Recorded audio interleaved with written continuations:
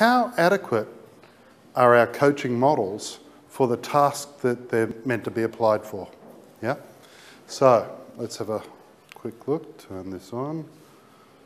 Why is it not working? There it is. Okay, so we live, we've heard this term before, VUCA. Have you heard VUCA?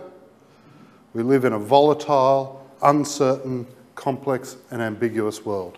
And the experience of many leaders, I think, is one of this. The world is volatile because it's highly connected. Things change rapidly and are very unpredictable. It's uncertain. Leaders find cause and effect very hard to identify. In fact, we all do.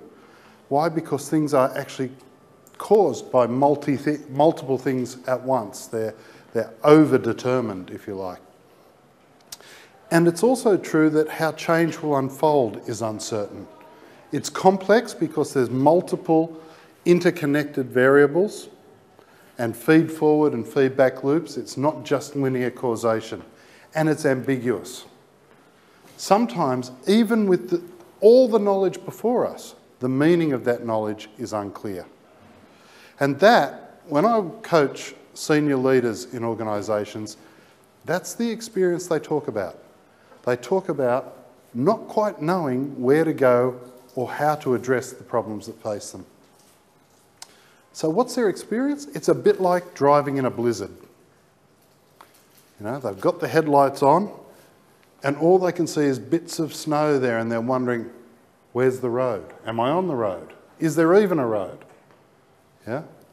So, about 30 or 40 years ago, and the man's name escapes me, I think it might have been March, came up with the notion that there are two basic management or leadership strategies.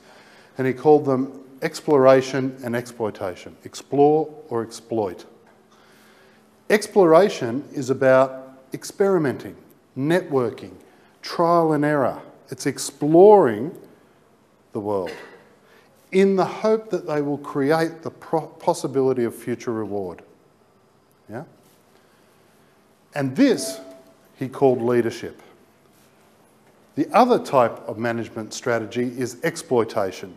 And this is about capitalising on what you already have, getting the most out of what is already there, fine tuning, utilising current knowledge and resources for immediate reward.